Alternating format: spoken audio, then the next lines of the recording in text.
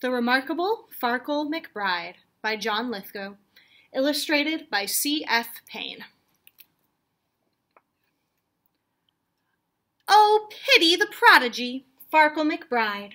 No matter what instrument poor Farkle tried, whether strumming or blowing or drumming or bowing, his musical passions were unsatisfied. When Farkle McBride was a three-year-old tyke, all freckly, bony, and thin, he astonished his friends and his family alike by playing superb violin. He went reedly-deedly-deedly-dee with all of the strings at his side. Reedly-deedly-deedly-dee, the remarkable Farkle McBride. But when he was four, Farkle played it no more, in spite of his parents' beseeching. He shattered the records he used to adore. He smashed up his rosin, ripped up every score. He threw fiddle and bow to the living room floor, and he shouted, Enough of your screeching! When Farkle was five, his melodical gift once again bore rhapsodical fruit. The woodwinds inspired his spirits to lift, and he rapidly mastered the flute. He went roodledy toodledy toodledy too, with all of the winds at his side.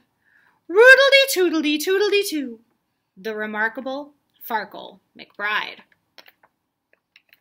But at six, Farkle flung his flute into the lake notwithstanding its lyrical trill.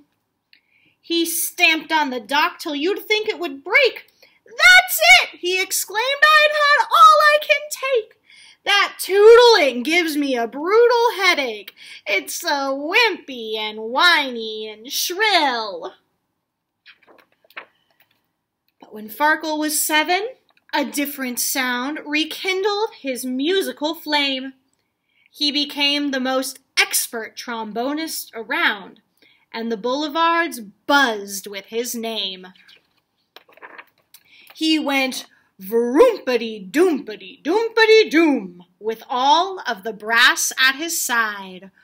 Vroompity doompity doompity doom, the remarkable Farkle McBride. But at eight, he declared, to his parents' despair, and as everyone else might have guessed, I can't stand the trombone with its blat and its blare. That racket is more than my eardrums can bear.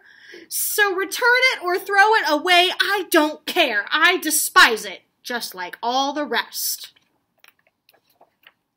When Farkle was nine, both his father and mum were bursting with pride and affection. For Farkle learned xylophone, cymbals, and drum the entire percussionist section. He went boom, bash, clang a clash, all the clamor that he could provide. Tinkly bing bong bumpity crash, the remarkable Farkle McBride. But soon he fell prey to his usual gloom, despite all the praise and the flattery. First a sigh, then a sulk, then a frown, then a fume, then an ear-splitting tantrum that emptied the room. I can't take it, he bellowed. The crash and the boom and the clang and the bang of the battery. Poor Farkle at ten, howsoever renowned, reached the end of his musical tether. But then he discovered his favorite sound musicians all playing together. It happened like this.